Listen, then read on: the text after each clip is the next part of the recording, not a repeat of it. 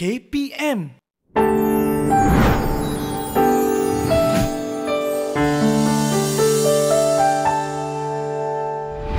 Kasih ibu membawa ke syurga, kasih ayah sepanjang masa. Mengapa dituntut mencari reda ibu bapa?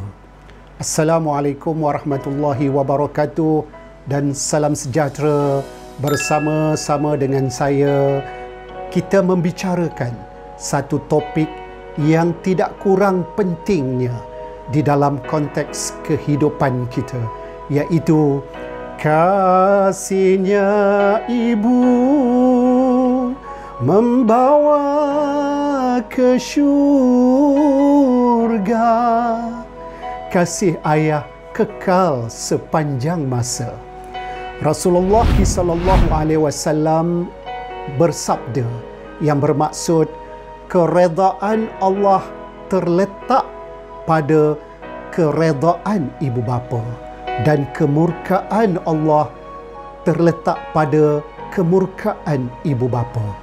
Maka terfikirkah kita anak-anak di nombor berapakah kita letakkan ibu bapa kita di dalam kehidupan kita? Selepas cinta Allah, cinta Rasulullah, kita wajib mentaati kedua ibu bapa kita. Pernahkah kita bayangkan bagaimana rasanya seorang ibu menahan sakit di saat melahirkan kita? Bagaimana rasanya seorang ayah membanting tulang bekerja siang dan malam untuk mencari rezeki, memberi sesuap nasi kepada keluarga?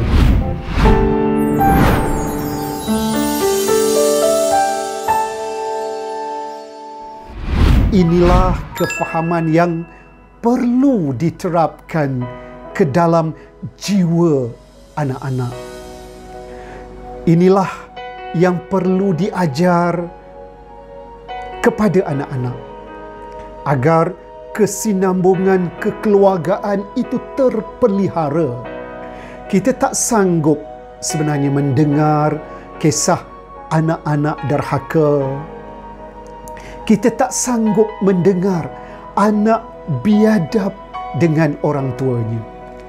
Oleh itu, menjadi kewajipan untuk kita mengajar anak mencari keredaan ibu bapa. Banyak kan cara yang boleh dibuat.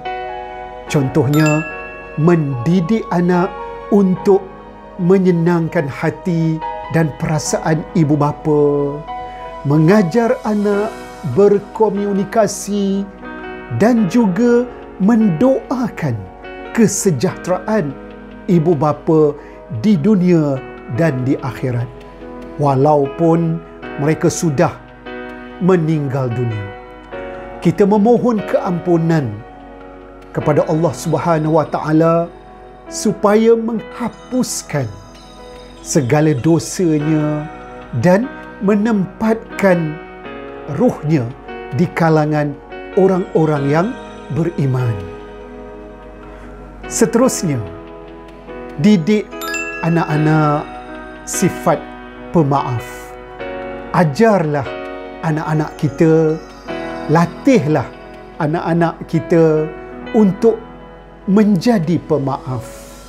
Anak sangat memerlukan watak yang boleh dijadikan contoh maka tidak lain tidak bukan ialah ibu bapa sendirilah contohnya anak bila tinggi di dalam jiwanya sifat pemaaf maka tinggilah juga ia nanti mendapat redha daripada ibu bapa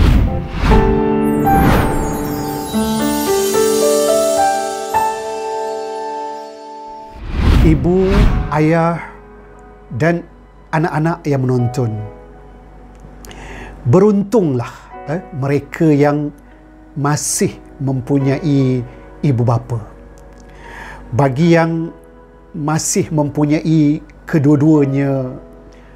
Pastinya ya kita masih dapat berkongsi dengan mereka bergurau makan bersama ya serta mencium tangan ibu bapa. Bayangkan bagaimana perasaan anak-anak yang sudah tidak dapat lagi melihat salah seorang ataupun kedua-duanya. Contohnya, baru-baru ini diceritakan betapa ramai anak-anak yang menjadi yatim kerana COVID-19. Rumah yang dahulunya penuh mengisi pelbagai kenangan indah mungkin kini suram eh, kerana tiada lagi terdengar eh, suara nasihat serta wajah gembira menyambut kita pulang eh, contohnya. Oleh itu, jika Tuhan masih lagi memberi rezeki kepada kita, eh, dapat menatap dan mendengar suara mereka, hargailah eh, kedua-duanya sehingga ke akhir hayat mereka. Sekiranya ada di kalangan uh, kita pernah uh, berasa kecil hati ditegur, ingatlah, ya, itu bukan bermakna mereka tidak suka ataupun mahu membebankan hidup kita. Sebaliknya, itulah tanda kasih dan prihatin mereka walaupun kita merasakan diri kita ini sudah cukup dewasa dan bijak. Didik TV KPM Didik TV KPM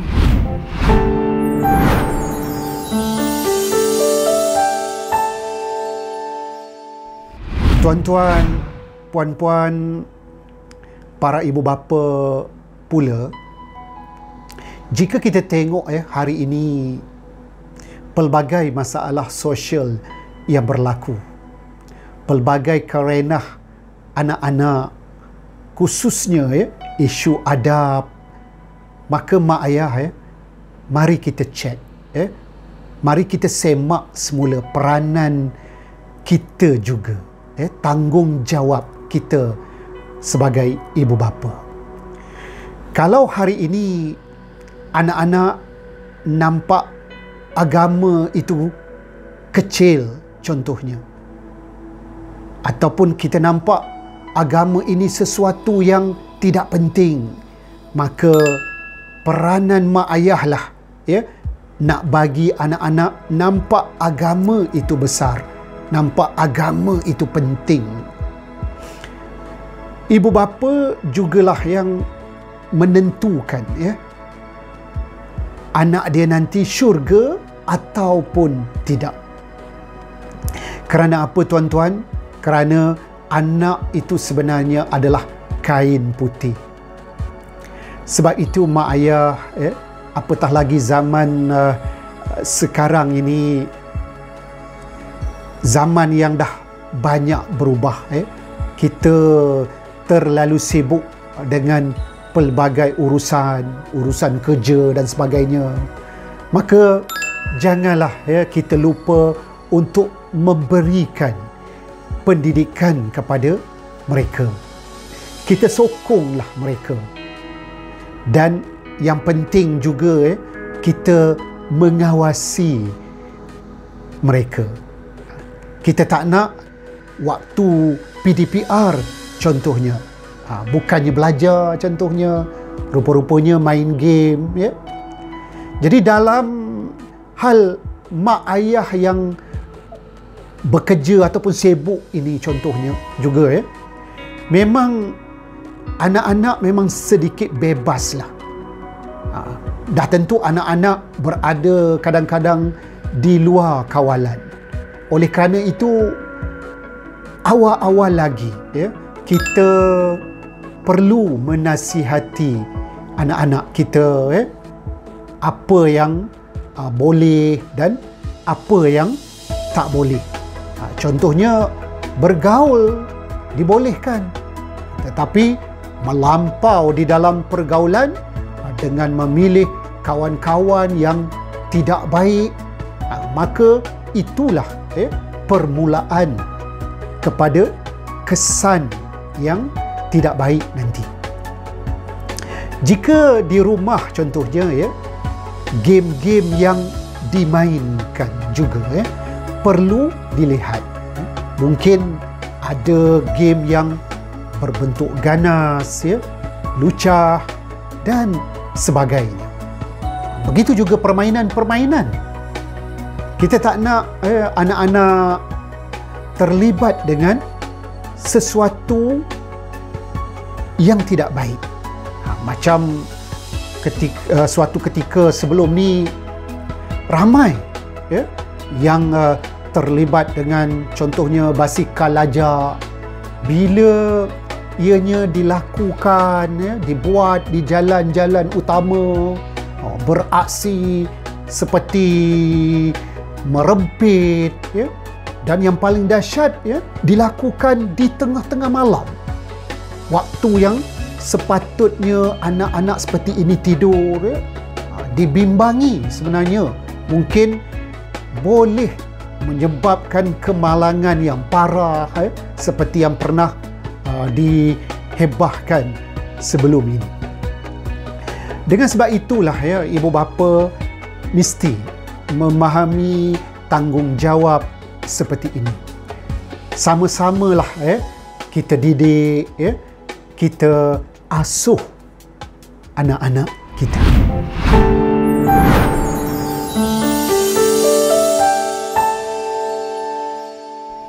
Anak-anak yang dikasihi, ibu adalah makhluk yang Tuhan muliakan. Kasih ibu tidak pernah ada berpenghujungnya. Kasih ibu tidak pernah ada sempadannya. Atas sebab itulah eh, kita tak ada hak sebenarnya untuk merajuk kepada mereka. Eh kita tak ada hak langsung untuk berdendam dengan mereka. Pohonlah ah, rahmat ya kerana dalam dua tangan yang ada keramat sebenarnya yang boleh mendoakan kita yang sangat mustajab anak-anak doa yang tiada hijab sebenarnya. Kita tak tahu eh ketika mungkin eh kita sedang lena tidur ibu kita bangun eh mendoakan kesejahteraan kita. Beruntung sangat eh anak-anak yang menonton eh pada hari ini yang masih ada ibu yang mendoakan kita. Sebab itu anak-anak eh jika anak-anak masih ada ibu eh junjunglah dia eh taatilah dia patuhilah dia letaklah dia di tempat yang paling mulia di hati kita hargailah eh mereka yang bernama ibu eh. kadang-kadang bila mereka dah tak ada eh, baru kita sedar eh, betapa kita nak sangat berbakti kepada mereka kadang-kadang masa ibu kita ada kita lupa nak tanya mak okey ke? Mak sihat ke? Sehinggalah eh bila ibu kita sakit ya kita baru sedar yang dia tak sihat. Kita sibuk eh habiskan masa kita mungkin di dalam bilik ya dengan uh, handphone kita uh, dengan chatting kita uh, sampai dengan ibu eh dengan ibu pun kita kurang eh sangat bercakap.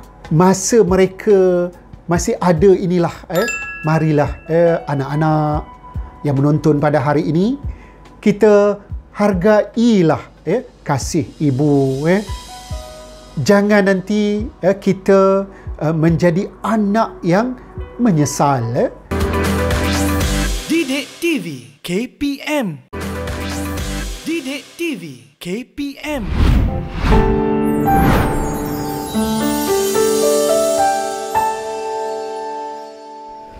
anak-anak yang menonton ya bolehkah kita tidur lena pada malam hari sekiranya pada siang hari kita menengking ibu kita ya kita bergaduh dengan ayah kita bolehkah kita tidur lena pada malam hari anak-anak sekiranya dah dua tiga hari kita tidak bertegur sapa dengan ibu ataupun ayah kita Kadang-kadang ya anak-anak kita ini terlalu ego sebenarnya.